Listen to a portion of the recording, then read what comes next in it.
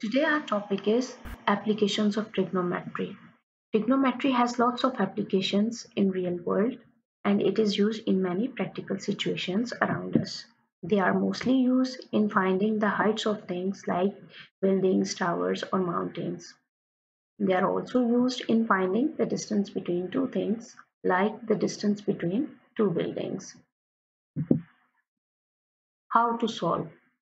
Whenever you are given any question, read question carefully, underline the given information, form a right angle triangle for the given question. You have already studied about the trigonometric ratios of a right angled triangle. Here is a right angled triangle. The opposite side of a right angle is always hypotenuse and here if we are using angle over here then opposite to this angle this side will be the opposite side. The remaining side will be the adjacent side. The trigonometric ratios are sine theta is equals to opposite over hypotenuse. Cos theta is equals to adjacent over hypotenuse. And tan theta is equals to opposite over adjacent. The angles which are used in trigonometric ratios are angle of elevation and angle of depression. What's the angle of elevation? Suppose a boy is standing on the ground and he is looking upward to the building. Then the angle between the horizontal line and the line of sight is the angle of elevation. What's the angle of depression? Suppose that a boy is standing on the mountain and he is standing and he is looking downward to the boat then the angle between the horizontal line and the line of sight will be the angle of depression. Angle of elevation and angle of depression are always equal. Why they are equal? As these two horizontal lines are parallel to each other and this line of sight is working as a transversal.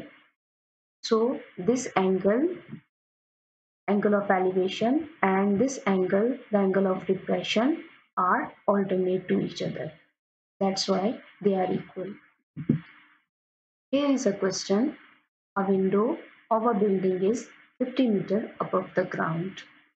Given that the angle of elevation of the window from the point on the ground is 42 degree. Find the distance of the point on the ground from the foot of the building. For this given information, first we'll highlight the information for which we have to draw the right angle triangle it is given that the window is 50 meter above the ground. So this is the height of the window. The angle of elevation is 42 degree and we have to find the distance between the point on the ground and the foot of the building. For this information, we'll draw right angle triangle as in this right angle triangle, this is the height of the window and this is the foot of the window and this is the point we have to find the distance between the foot of the window and the point.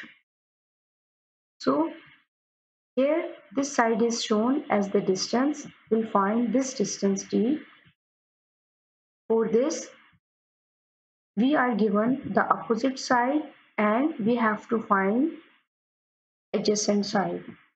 Here the trigonometric ratio that we will use, this is tan theta is equals to opposite over adjacent. Tan 42 will be equals to 50 over d. To find the value of d, d is dividing over here. On the other side of the equality, it will multiply. So d will be d tan 42 t multiply tan 42 will be equals to 50. To isolate d, we'll divide tan 42 on the other side of the equality. So d, will be equals to 50 over tan 42. With the help of calculator, first we'll find the value of tan 42 which is 0.9004 and then we'll divide these two values. So after dividing these two values, d is equals to 55.5 meter which is our required answer. Thank you very much.